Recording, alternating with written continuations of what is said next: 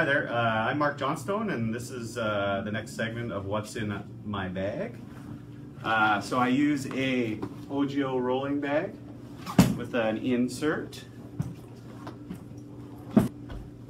Alright, so for my shoes I have Dexter SST4s LE. It's a limited edition, so on the right foot is uh, no sliders on the right foot.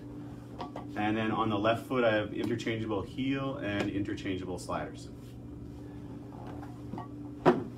So as far as my bowling balls go, this would be my longest ball. I got this ball when I was about 15 or 16 years old.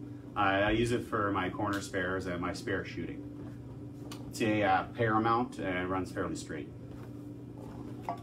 Uh, this ball, I actually don't know what brand this ball is. I found it in the back of the bowling alley in Wetaskiwin many years ago. This is my go-to ball. It moves a little bit. It's kind of a consistent ball. It doesn't move a lot, but it has a little bit of movement and doesn't run really, really straight.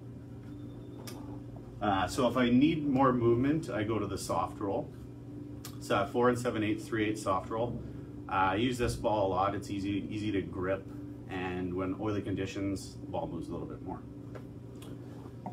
I also have the Starline, four and seven eighths, three eighths. Also has a great deal of movement to it. Uh, I don't use this that too much because it gets a little oily and I can't hold on to the ball that well. So if I, if I can use it, great. Uh, another soft roll, four and three quarters, three six. So a little bit smaller, so if I need to change it up, I don't use this very often, but uh, if I need to try something different, this is a go-to one for me as well.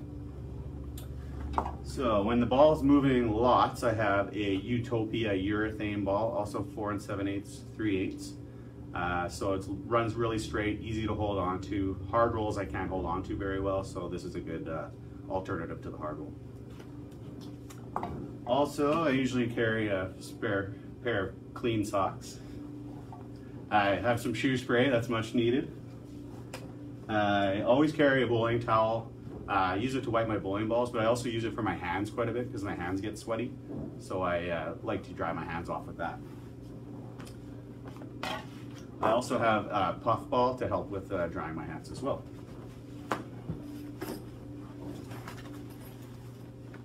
Okay, so I also have a bag of sliders and heels and all kinds of different things for different conditions. I also carry a wire brush. It really helps uh, get all the residue off the bottom of the shoe. And I carry some chalk too, so it helps in the staking conditions. Okay, that's everything in my bag. Thanks for watching.